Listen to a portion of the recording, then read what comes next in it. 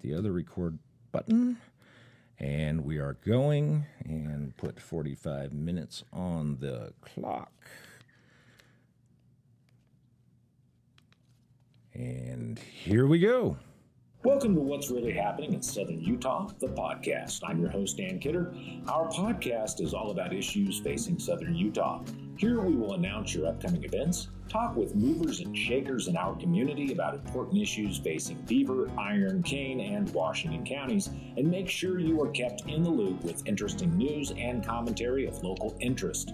While we welcome folks from all over, our goal with this podcast is to give residents of Southern Utah a place to find out about issues that affect them. You can find us on Apple Podcasts and also on our Facebook group, What's Really Happening in Southern Utah, and online at What's Really Happening SU.com. You're listening to What's Really Happening in Southern Utah, the podcast with your host, Dan Kidder. Okay, hey, we've been gone for a while. Happy New Year, everybody. Um, it is a sad day that we have to come together to talk about the horrible slayings that occurred in Enoch, which is our next door neighbor. I often say for those listening outside of the area that uh, Enoch is a suburb of the sprawling metropolis of Cedar City, um, which those who live in Cedar City understand because we are a very small, tight knit community. But it has made national news. We've seen a statement from the White House. It's been on MSNBC and C- CBS and ABC and Fox News and CNN. Uh, I even saw it in the BBC and the Guardian overseas. And for many of those organizations, this is yet another uh, talking point in their push for gun control. But for those of us who live in this community, this is a very, um, it was a kick in the guts when I first heard about it. So, joining me today on the podcast uh, by phone, I've got Milton and uh, Rochelle McClelland. They are the owners and founders of Roots Counseling here in Cedar City.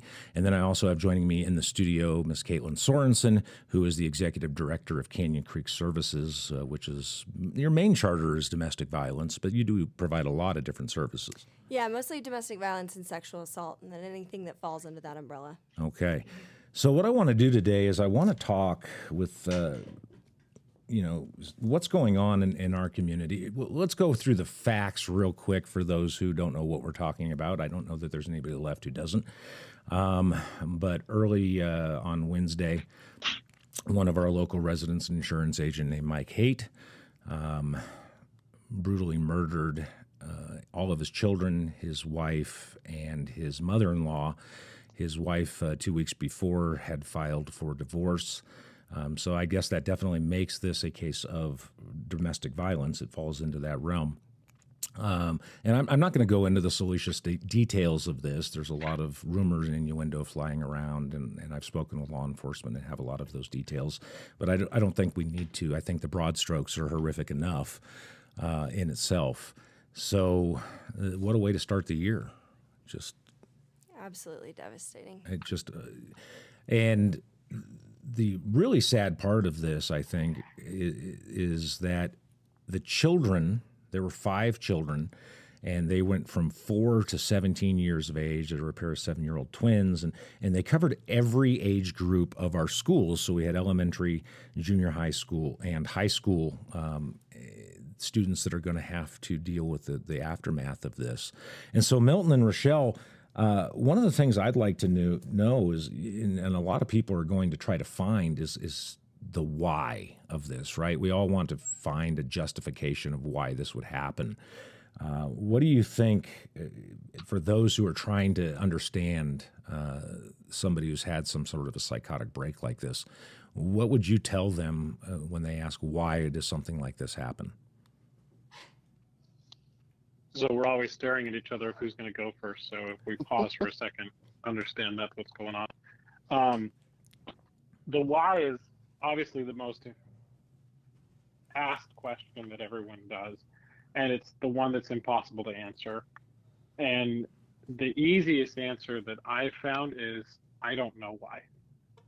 And I can't even possibly understand how someone would do something like this and so I don't try to spend a lot of time figuring out something that's I can't get into someone else's mind to. What I do try to understand is what are they trying to find out with asking the why? what is it they're really looking for? Are they looking for peace? Are they looking to say this was a, a, a bad act or a, a horrific action that happened? And then we can validate those things. But spending a lot of time on the why just really it fills our time. It doesn't really actually help anything.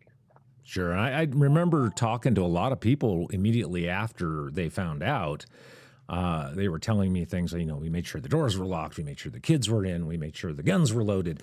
Um, just the, the fear that went through this small community as a result of this until they found out that uh, the, the uh, murderer was himself killed uh, by his own hand. Uh, there was a lot of fear that went along with this.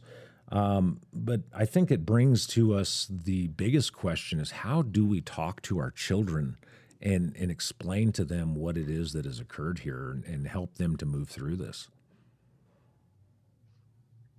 I think for that um, reference, the school district has done a good job of putting out some talking points and things of that sort. And I think Caitlin, um, they've put out things there as well that I've noticed. Um, however, from my experience with a few of my clients that have reached out um, and a few of our friends who were uh, personally affected by this. Um, it's been interesting to see that the images that are going through their minds kind of creating the worst when we're trying to kind of go through that why question or going through that experience. And so I think allowing them to have their experience and the difference is the validation, like Milt mentioned, how to validate that and say, okay, like, because people tend to be like, well, you're safe. It's okay. Like, nothing's happened to you. But we want to validate the fear that's happening in people because they don't understand the why. And yes, we know that we're not in danger because of what the situation was, but that doesn't change that it just strikes that fear and misunderstanding in people. And we want to help validate that fear and help people recognize that, you know, we, we can understand that we would feel that way through these situations. Right, because even though the the immediate threat has passed, it still puts questions into people's minds, right? That how oh, how do I know that I won't be the next victim, and and what are the signs and things that I should be looking for with my spouse that I I don't become uh, the next person to go through this, and you know this happens nationwide, and and I recently had the uh, police chief or not the police chief, the sheriff and and the county attorney on to talk about crime in Iron County. And I hear a lot of people saying, "Oh, see, it just proof that all these people moving into the area it's not as safe as it used to be," and, and that's not true. It's when we look at the statistics, statistically per capita, there's been no change to our crime rate. I mean, we have mm-hmm. more people, so obviously we have more instances. Um, but back in the 80s, we had four people murdered in the Playhouse Bar here in Cedar City uh, by folks passing through from Las Vegas. And so the idea that this has become a less safe community because of the other, the other people moving in, and, and you know that's just nonsense. It's not true at all. Um, but we're putting together how this all came about is we're putting together. I started a nonprofit called the Friends of the Iron County Sheriff. And that happened really quickly, way faster than I expected it to. We got our approval from the IRS in three weeks and, and actually the, the approval was in two and a half weeks. It took a few days for the mail to get here to tell us wow. we've been approved. My my girlfriend is a CPA said no, no, that didn't happen, but it did. so it, it kind of caught us off guard. We're not actually prepared, um, but we're in a position to to help, and we're going to just put all hands on deck to get this to happen. Uh, but one of the things that I, I like to talk about is everybody talks about the cost. You know what what we pay law enforcement. Um, but nobody ever wants to talk about what it costs them to do the job. And in, in speaking with the sheriff and, and other people, I, I, can tell you that the law enforcement officers who had to respond to this event are absolutely shaken to their bones. And so we we talk about the eight dead, but we don't talk about the dozens who are injured and have to carry this trauma with them and, and, into those interactions that they have with the community. So, part of this fundraiser that we're doing is to cover the funeral expenses of uh, this family. But the other part of that is to cover and make available resources, uh, mental health resources specifically for those first responders who had to respond to this. Milton and Rochelle, how do we help those first responders um, to move through this and to heal these wounds that they're carrying with them? I think one first point for me is just um, because these first responders tend to always feel like they have to be tough. I think is letting them know it's okay, you know, to to not be okay and get the help that they need to process through these events. I think that's that's huge. Um, sadly, I've been with uh, the police recently at another shooting of one of my clients where where he took his life. Um, and we spent just as much time talking to the officers, like, "Hey, are you guys doing okay?" and trying to check in with them as much as we were checking in with the family and and all of these things. Because the reality is, is and it, and it goes into your question of how do we help the kids. This is what secondary trauma is. Secondary trauma is that that trauma that affects everyone around you from the incident. And the first responders they show up, they do their job, they do their job professionally, and and they try to take care of everyone. And and I just want to shout out to the to the Iron County sheriffs. They handled um, the family that I was working with, my my client who passed away, and and everything so well that I can't tell them enough. And I happened to be there when they were letting some other victims know, and they were just above uh, professional and responsible. And that carries a toll, right? you have to to put on that work face to go do those things but then you don't get to go home and share that with your family because you don't want to share that with your family. You don't want to share that horrificness that you just saw. And you just want to hug your kids more and you want to you know be there for them and and but you still want to go out and protect the community and serve. So it's a good thing for us as the community to rally around them and just let them know look we're here for you. It's okay for you to talk about these things with us. And it's okay for you to, to feel like you can talk about these things. And if it needs to go to the level of counseling then absolutely go do that. Even if the only thing you do is just vent and get out get out what you are angry about the situation that you had to go into a house and see these these awful images of children and and and the other victims that's just horrible. And they need a place to, to express that as well. And and that's what goes on with the kids too. Most of the time we just need to get it out of our system. It's just like a a, a, a sickness. Once you can kind of purge it out of your system it does make things a lot better.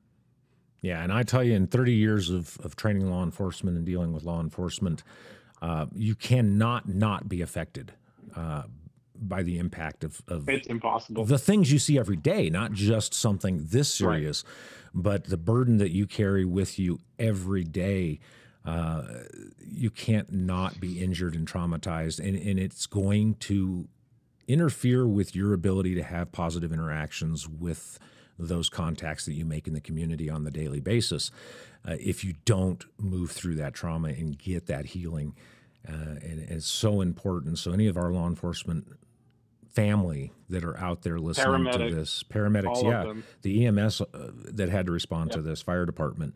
Uh, Any of the, yeah. It's okay to talk. It's okay to get help. It's okay to ask for help. Let us put our arms around you and show you how much we love you and care about you and want you to heal through this. Um, well, and Dan, if I if I could, they're not asking any question that's different than the little kids. They're wanting to know the why too. Yeah. They can't comprehend how someone gets to this point. They work with with people who are committing crimes all day. They aren't working with people who are hitting a breaking point and doing this awful tragedy. So it's a very different world. And it's okay that they're just as confused, just as upset, just as as confounded by this as anyone else is. Absolutely. And many of them have children in, in the age groups right. that we're talking and know about. These kids. And know these particular kids. Yes, they do. So, right. Caitlin, as people try to to make some sense of this, uh, you know, I, I, saw yesterday a Facebook post on uh, on one of the St. George groups saying that, "Hey, I'm in an abusive relationship. Um, I'm going to file for divorce. What resources are available for me?" And immediately the responses were, "Oh dear God, did you not hear what happened in Enoch?" Um, so, what are some things that people who who may be looking to get out of their current relationship, maybe in an abusive relationship, what are some of the signs? That because anybody who knew this family said there's no way that they ever saw this this happening. What are some of the signs that people uh, can look for to give them an idea that they could be potentially in danger? Yeah, I think that's a great question, and um, there are definitely some red flags and signs, but every situation is different. Um, some of the things that we encourage people to kind of pay attention to in those circumstances um, are what they've actually experienced in the relationship. Has the relationship been, you know, what kind of abuse have you experienced? Has it been verbal? Has it been, um, you know, financial abuse? Has there been physical abuse? Um, is there a weapon present? Do you have a weapon? Like, what what is in the situation um, that that could be used to harm you or or that um, could protect you in some circumstance? We call that safety planning. Um, but what people don't realize sometimes is everyone's so eager for victims of abuse to leave their situations, and I get that. I'm, I'm in the same boat all the time. Why did she stay? Yeah, yeah, right? yeah. Like, why were you staying in this situation? And and that could be a three-hour session all on its own. There's plenty of reasons why they do, but We'll put that on the calendar. let's do it. Um, but but the the dangerous. Anytime you want to talk about that, we're there. yes, they're like yes, no. There's so many reasons. So the the hard thing is is is in these circumstances is the most dangerous time for a victim of domestic violence is when they leave. And a lot of people don't talk about that. Right. Serving those kinds of orders, getting a protective order, leaving the house, like taking the kids, getting out, that can be the most dangerous time because that abuser has then lost some of their power and control over the situation, which is what they're focused on, which is why they, they abuse. Um, and so that's when you get a breaking point situation. Um, and so for individuals who are looking to leave those circumstances or or to be able to make sure they're safe in the situations that they're experiencing, you know, speaking with the safety supports in their in their realm. So whether they have ther- a therapist, whether they are working with an agency like ours. Um, at Canyon Creek, working with an advocate. Um, even law enforcement has victim advocates. So if maybe their perpetrator has had a domestic violence charge against them, they're contemplating leaving for good and making a plan. We have systems based advocates here that our agency works with constantly. Um, and, and, and really getting that viewpoint from those individuals to say, hey, how do we make a plan to make sure that, that this is a safe exit? And in all reality, you know, we talk about all the things that could have been done. Um, and I and I don't want to delve into this situation because I don't want to speculate. But um, you can still do everything right, and there can still be tragedy. Right. And so we have to be really careful of blaming people when we don't know what they did do to to to get safe. From a concrete steps perspective, if somebody is in a domestic violence relationship, if they're currently being abused and maybe they're not to the point of wanting to sever the relationship and, and break ties, is it important for them to contact law enforcement so that at least there's records of this and, and it can be dealt with? Those victim advocates can be uh, deployed and involved, uh, or to reach out to you. What, what would be the steps that somebody would take? Maybe they're not at the breaking point yet, um, but they want help. Yeah. Um, documentation is always key. Whether you do that by sending an email to like a really private email that nobody has access to, so there's something there, and maybe a friend or family member has access to it to be able to have it in case something happens. Whether that's working with law enforcement, whether that's working with us, um, making sure there's documentation, there's a record of what's going on, is going to help you be able to get services like a protective order, uh, like you know a divorce that will allow you to be able to, you know, have access to your kids and and have those kinds of Save those emails. Right, uh, right. Yeah, But texts. honestly, the the very first thing is if you're recognizing you're in an abusive situation, you're already ahead of the game because there's a lot of people that don't realize that that's what's happening to them and don't label it as such because it's such a scary term. Um, they want to think, oh, we just we have our issues, or this person's just angry, or he he doesn't do it all the time. But if you're actively recognizing that abuse is happening, we encourage you to reach out. One, make sure you have some kind of a safety plan. If there is an explosive event, you can kind of see that through the cycles of abuse. You'll have like a, a building phase, you'll have an event, and then you'll have a honeymoon period where it's, I'm sorry, I'll never do that again, those kinds of things.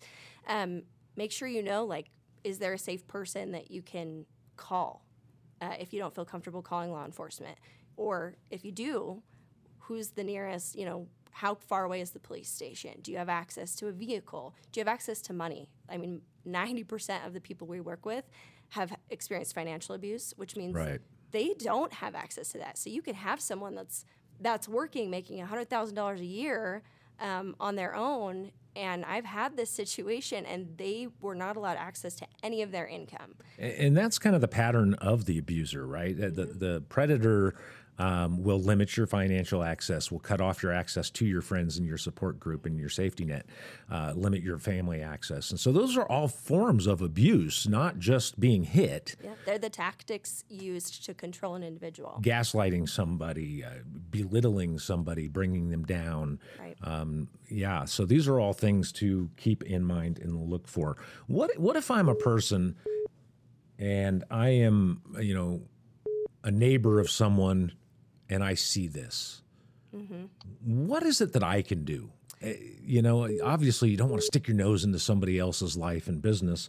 And but what can I do? What are the steps that I can do? What are the things I should be looking for uh, to help that person who maybe can't get that help themselves? Yeah.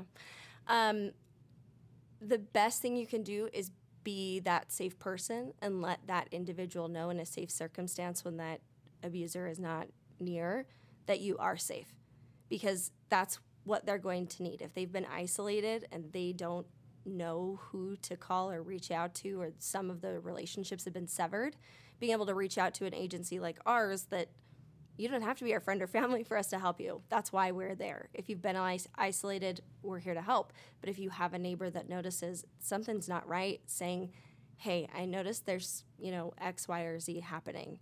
And you don't have to tell me anything if you don't want to, but I'm here if you ever need to talk or if you ever need help or, you know, if you ever need me to take you somewhere or you need a room to stay, like making sure they know that you're available, honestly, is the thing that saves so many lives because when they get to that point where they are ready to leave or there is an event that forces, you know, their hand, uh, maybe there's been abuse towards the kids or something like that, then the first thing they're thinking about is where do I go? What do I do? Who can I call? And you've identified yourself as a safe person, and that's the best thing you can do because they know they're not crazy. They know someone else sees it, that someone else is is watching their experience. They feel they feel seen and heard, and that will give them the bravery in some circumstances to make that move. And sometimes it will take a very long time before it happens, and just keep checking in to say, "I'm here for you." You know, it also provides some validation to that person too, right? Because they may be going, "Am I crazy? Am I really being abused?" And then So somebody else seeing it and, and saying, "Okay, hey, we we recognize this as well." Mm-hmm. It might give them that validation and that impetus to start looking at steps that they can do to either get help uh, to to fix that relationship or to get out of that relationship. And I'd be interested to hear what what Milton, what Milton has to say about that because I know that I spend a lot of time with individuals who are like, I know it's not abuse, but like I'm there's this stuff happening, and maybe like I don't want it to be abuse, and I'm like. It's You're, abuse. you're experiencing you're experiencing abuse, and you just need to name it. So I'd be interested. How much time do you guys Well- spend doing the same thing? Let, let's just be honest. Who wants to admit these awful things are happening in our lives? Mm-hmm. Like a lot of the time when we're in these bad situations, especially, and and I'm not talking specifically about this situation, but but this is a, a, a family who was, who was LDS. They were active in their faith. We all kind of look at things in this community of like, oh, if everyone's showing up at church and smiling, everything is good. But if your gut is telling you something and you're the neighbor, then you you made the statement, Dan. We don't like to stick our nose into people's business. Stick your nose into their business and go say hi. Mm-hmm. Go talk to them. Go befriend them. Go create space for them to be uh, open with you and, and asking questions. And those questions of, is this okay? Is this like the behavior you're seeing okay?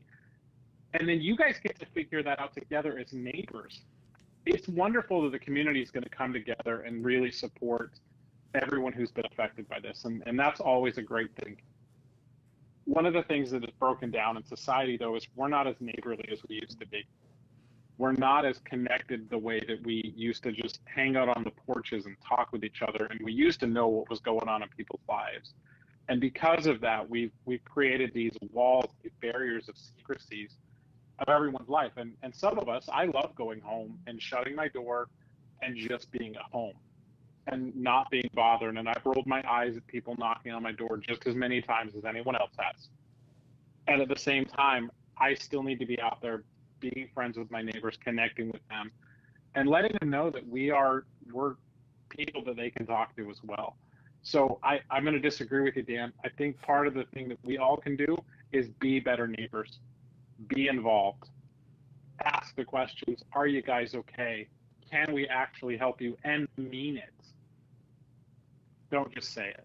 I also think too, and those are incredible points, is that you know when you make yourself present, it's going to break up the opportunity for those really, you know, escalating events to happen, but also that we as a community don't tolerate individuals Yeah. abusing other individuals. That's right. That we call it out when we see it. Right. We're not just checking in with the victim, like he spoke to you and a, you know, or he grabbed you Yeah. hard, or you know, that we're saying like, you know what, I, I, just, I don't think that we should treat each other that way. That's I, not I don't okay. Feel comfortable. You know what? Yeah. I think maybe you should leave, and, and we're gonna stay here uh, while you go, you know, cool down. And sometimes you, you're not gonna see it. Abusers are really great at masking. They are so good at looking like the nice guy. They're so good at looking so good to everybody else. Um, but they'll have, you know, you'll have moments, you'll have slip ups. Someone feels comfortable. And if you see it, you have to say something. We have to be better about that in our community. Right. We can't just leave Well, that to law enforcement constantly. Here's one of the problems is the abuser may not realize that they're being this malevolent person, right? Like it's not like they're constantly aware that, that what they're doing is bad. They're doing in that moment what they think they need to do. It's not right what Mhm. they're doing. It's not okay, but they're not labeling themselves as an abuser. And if someone does, they get defensive. Mhm. So the more we're friends with them, the more we're connected with them, we give them an opportunity to, to have someone they can bounce off things to and say, hey, that's not okay.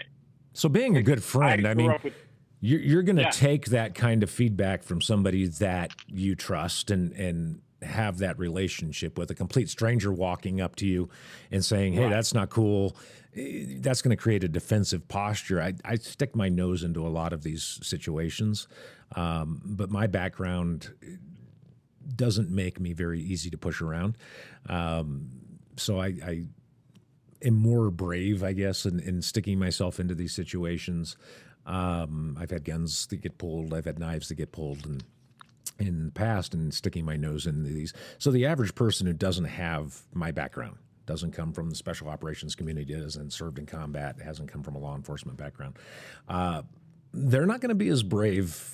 Most likely sticking their, their nose in. Al- Although I'll tell you, I, I know some people, especially small women, um, who are not as well physically or, or as well trained, uh, have no problem Oh yeah, watch out for us. we are strong five two and ready to party. That's we're, right. We're there. Uh, yeah, they, they will jump in. They, they're like little chihuahuas sometimes. They'll Yeah. just jump right in there. do you know what no happens problem. when one person, when one person stands up, Dan? You get other people who stand up in the community too. So Yeah, absolutely. We call that breaking the I get- bystander effect. You know? exactly. Uh, I want to recommend to anybody out there. This is a book that I have I've been recommending for years, and I can't tell you how many people have come back to me after reading it and said, "Thank God that you recommended this book to me." Uh, there's a gentleman out of California. His name is Gavin de Becker. He runs de Becker and Associates, and his clients are politicians, uh, movie stars, uh, athletes who have received threats, and he's set up this amazing analysis capability and databases to, to verify whether these are actual threats. The U.S. Secret Service uses him, um, but he's written a book called The Gift of Fear, and it gives you signs. It gives you cases, case by case, where the signs were present and people acted on them or didn't act on them. Um, and it's an amazing book. Uh, Main Street Books keeps it in stock as much as they possibly can because I, I, I had the owner of that uh, place read the book, and she's one of the people who came to me and said, "Thank you for this." And um, Oprah Winfrey says this book can save your life. So I highly recommend that if you are at all thinking like you may be a victim of domestic violence to get this book just get it anyway anybody should read this book it's an amazing book So I want to take a minute to talk about uh, some of the uh, resources that are out there. Milton, you mentioned to me uh, earlier that you were going to be providing um, some some counseling resources for folks. T- tell us a little bit about that. Um, we got together as a, a ownership team. Uh, we've got a couple non-clinical owners, and we all just decided it, it was the right thing to do to just offer what we could. Um, so we're we're basically offering uh, two individual or family sessions, or even four group sessions um, for anyone who's affected by this. And like I said, a lot of the times, if we can kind of just have a safe place to work this out, that may be all anyone needs. Obviously, if there's more needs, then we can look at helping in other ways with with those individuals. But we wanted to at least offer something out in the community, and and we're not limiting this.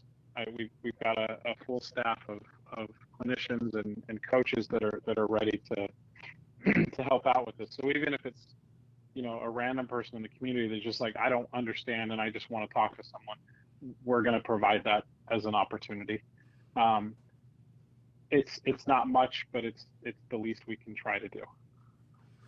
And I noticed that when the Iron County School District put out, they've pro- provided a great list of resources. So if you go to the Iron County uh, ICSD uh, schools website, uh, there is a list of there's a mobile mental health task force that's being deployed from the, the governor's office um, and, and, just all kinds of resources for students in Iron County, uh, teachers in Iron County to be able to respond to this. Uh, Caitlin, what resources are available? Uh, this is an audience that reaches Beaver, uh, Washington, Kane, Garfield, Iron. I know we have the Dove Center uh, down in Washington County. You're here. What resources are available in this community uh, for people who might be victims of domestic violence?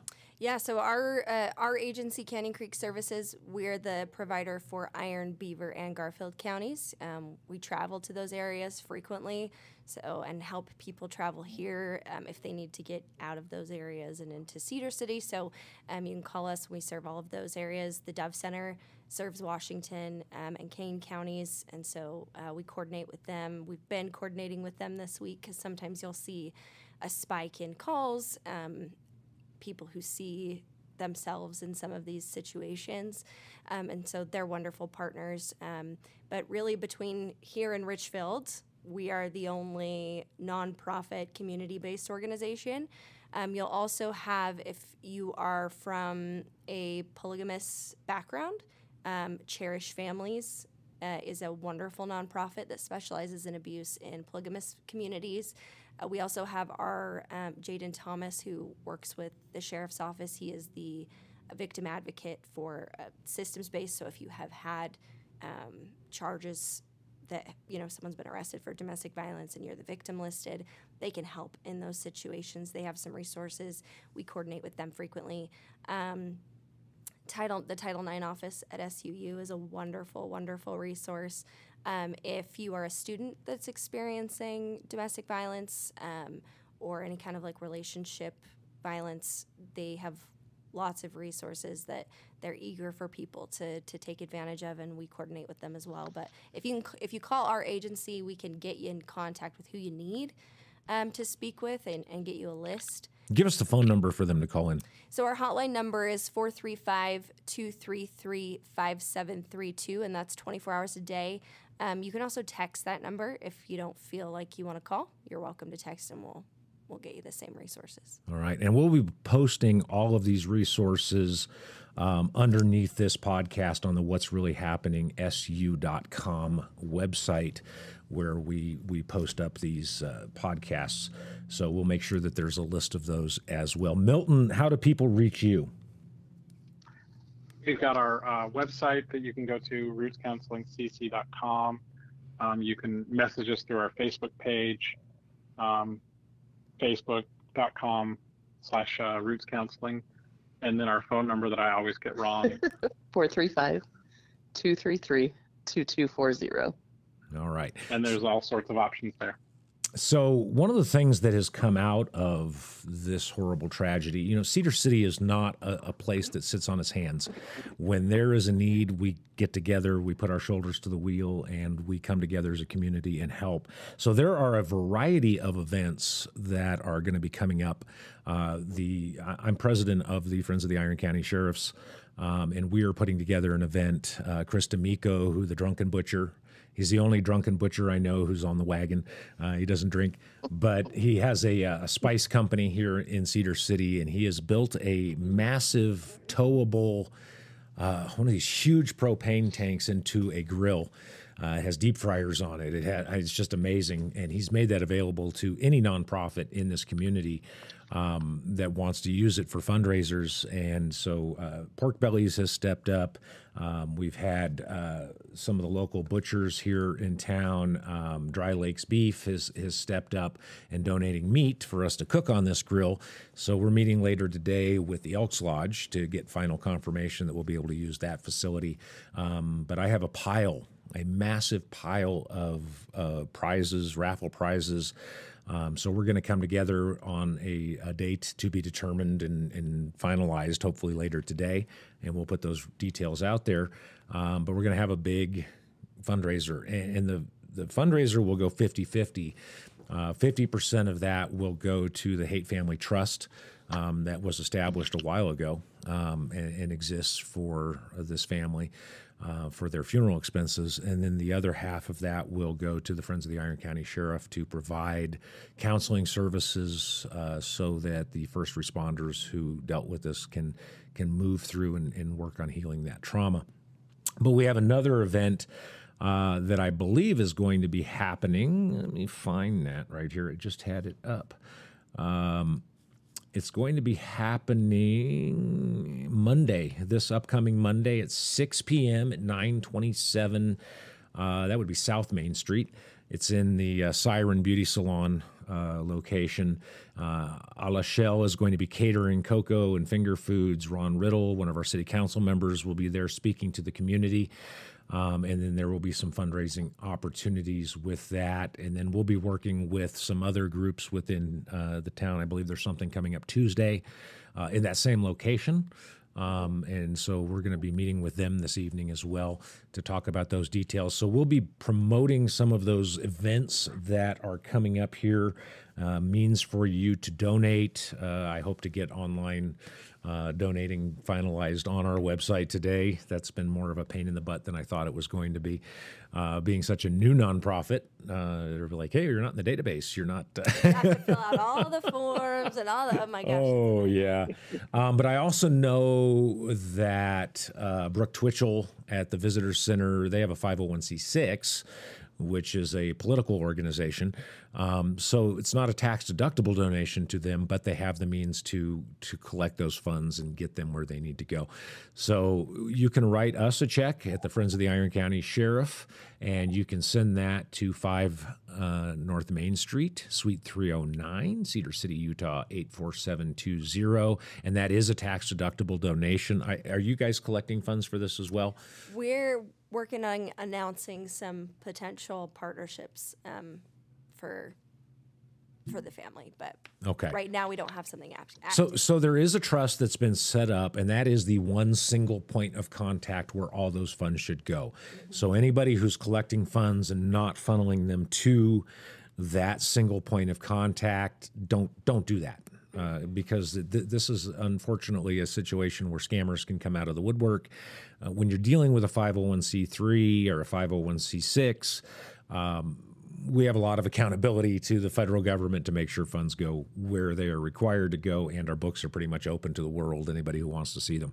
So be careful of some of the GoFundmes that are popping up, and and I'm not saying those people are, are acting in a in a, uh, malicious manner or scammers, but it's very difficult to track that at that point. Plus, GoFundMe takes a ton of those funds and make sure they don't go where they're supposed to go. So the best way to make sure that you are getting funds where they need to go is to write a check uh, that way, there are no credit card processing fees attached to that. 100% of that goes to where it needs to go. All right. Is there anything that we should have talked about that we didn't talk about? Milton, Rochelle, Caitlin? I, you know, I, I think the biggest thing we can all take away is that it's okay to, to hug your kids a little bit more after these events. It's okay to, to be on guard a little bit. It's okay to, to have these feelings. Um, one of my uh, good friends reached out to me yesterday and who's close with his family. And, and I just said, you need to feel all those feelings that you have are telling you how important these people were to you. I think that's the thing that we ignore about feelings is their messages. They're not good or bad. They're there to tell us something. Grief is there to tell us that these people were important to us. They mattered. We loved them. We cared about them. If you're having feelings about that, that's a good thing. And it's also important for people to realize there are stages of grief, but Absolutely. the combination that people go through in dealing with those isn't the same for everyone. And, and how they react to those messages of grief. Talk to us a little bit for a second, if you will, about what those stages of grief are and, and how they can manifest themselves. I always forget the order. Anger, sadness, Denial. uh, denial, the bargaining. I'm looking at my wife and she's got nothing either. the, the, the idea that they go in a circle or a linear fashion is, is not true. You're going to bounce around to whatever feeling you need to feel at the time. Your body is a pretty smart device. It's way smarter than we are. And it kind of tells us what we need to feel a lot of the times. You know, when we talk about trusting our gut, that's what we're talking about is letting our body feel what it feels and, and, and informing us. Well, and I think the hardest part is recognizing that shock is where most people are at right now. Yeah. And so those stages of grief don't tend to come in until the shock kind of steps back a bit. Um, because yeah, just disbelief um, and shock are going on. And so I think as the days go on, we'll start to realize a lot more people are angry when we stop to get out of that why place and we start to realize and let things settle in. That's when the grief will be happening, and, and we need to be aware of that. All right, Milton and Rochelle, thank you for joining us as you're returning back from your cruise. I appreciate you calling in and Caitlin coming in. We always love having you come in to, to the studio. Um, folks, cry, hug your kids, talk to somebody. Um, it is very important as a, a community that we move forward. We're not a talking point uh, on, on somebody's agenda. These are real people that are in our community, and many of us knew. Um, and and the first responders who are dealing with this, call me. Uh, talk to a religious leader. Talk to your bishop. Talk to your pastor. Um, talk to Milton and, and Rochelle. Get help. It is okay. We want you to have those resources available. We know you're not Superman. We know that you're hurting, and it is okay for you to seek help. And we hope that you will. Um, God bless everybody who's going through this. This has been a, a, it was a kick in my guts when I heard this, and so we want to make sure that everybody is coming together. That there are uh, resources available for you in this community if you need help, um, and we will put all those resources at the bottom of this uh, in the description for this podcast on what's really happening su.com uh, also, uh, you can access this uh, on the, the Facebook group, What's Really Happening in Southern Utah, the Facebook group. And we just appreciate everybody listening, and we appreciate you guys coming and, and providing and stepping up, providing these resources to everybody. God bless you all, and thank you all for listening. Thank you for listening to What's Really Happening in Southern Utah, the podcast. We hope that you found this content to be worthwhile. We want to hear from you, so if you have any upcoming event that you'd like to share with our listeners, or if you represent a local group, we'd love to have you come into the studio. Just email us at contact at what's really happening su.com. We're also working on streaming this podcast live and have the ability for folks to call in and ask questions or share items of interest to residents of Southern Utah. Be sure to share this podcast with your friends. And again, thanks for listening.